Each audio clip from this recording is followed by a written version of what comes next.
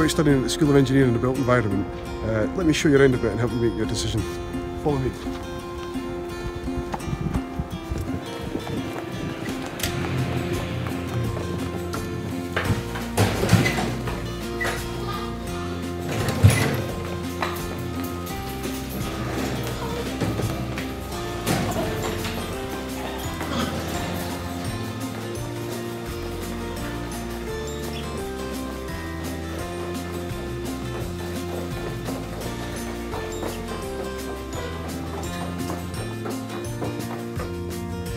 This is E-Floor in the School of Engineering and Built Environment and this is where a lot of the lecturers' offices are.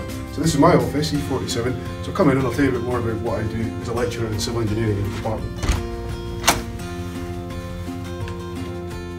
So I teach civil engineering, I teach civil engineering hydraulics and uh, we also undertake research as lecturers and my research interests are cycling infrastructure and human vibration exposure associated with pneumatic and hydraulic tools used in the civil engineering industry.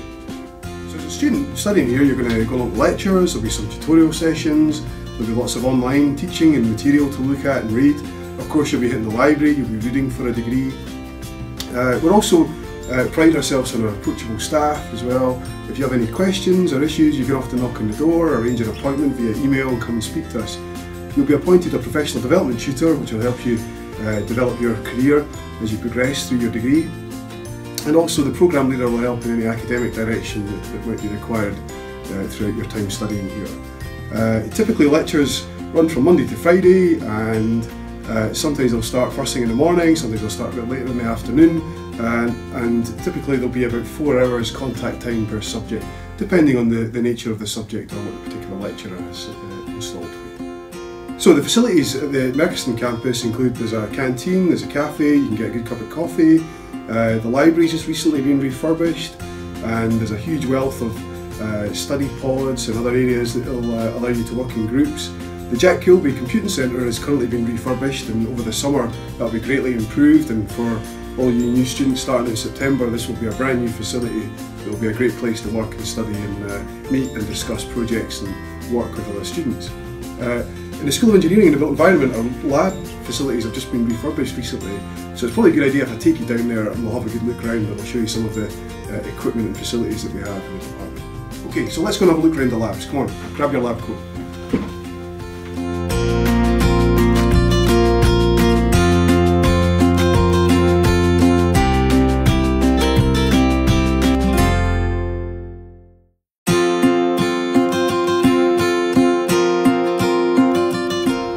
Robotics lab. Come in and have a look and we'll show you. James McWhinney's in, he can show you around.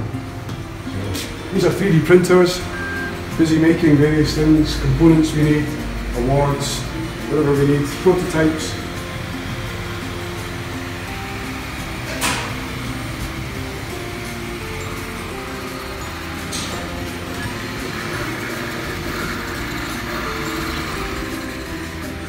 This is the other robots over here.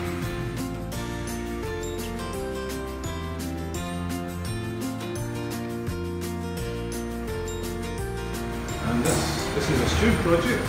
This is uh, a piece of casing. We put a piston and a spring there. So this is the materials engineering lab. Come in we'll show you around.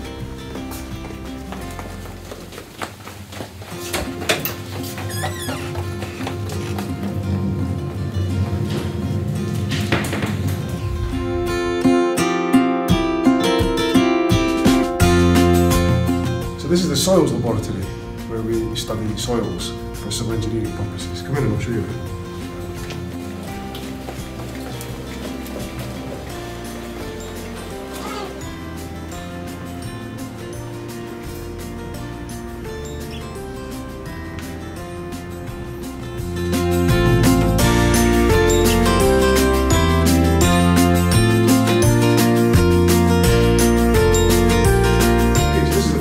mechanics laboratory where we teach, uh, funny enough, fluid mechanics and civil engineering and hydraulics. Come in and I'll show you some of our new kit.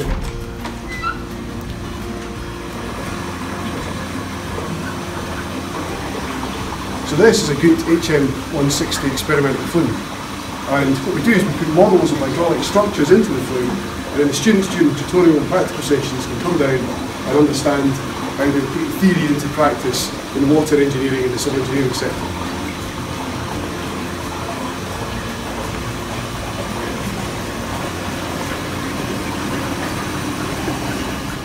This is the machine shop. Come in and have a look.